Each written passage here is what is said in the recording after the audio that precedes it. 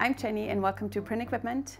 Today we want to show you how to sublimate on these great UNISUB products. These are really great products because they do consist of a 2 millimeter fiberglass um, coated plastic, which is really great because they're pretty much uh, indestructible. So even if a child or anyone else will get a hold of it, these are really um, great products. So today we are going to be making the fridge magnets, for which I also do have the matching little magnet my printout. This one was printed with our very own sublimation ink SubliSplash and of course protective paper.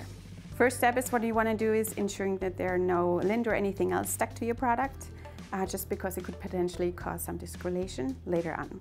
I'm gonna go ahead and place it on my printout. Fix it with a little bit of heat resistant tape. And I'm gonna go ahead, and open my press. Grab a little bit of protective paper and I'm gonna go ahead and place my product with the paper on top in the middle of my press, covered with a little bit of protective sheet.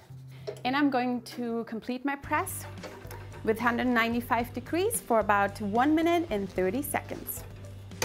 All right, my pressing time is almost over. So I'm gonna go ahead and put my gloves on and there we go. Open my press, move the protective paper, and remove my graphic, and voila.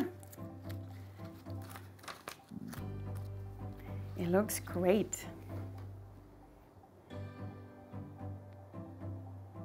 Now my last step is just going to be the simple assembly of the magnet on the back of my fridge magnet. Here we go. Press it down firmly.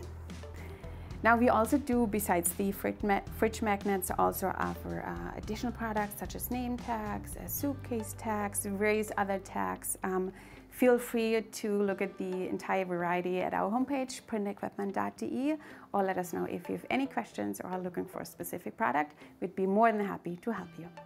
And with this, we do wish you happy printing.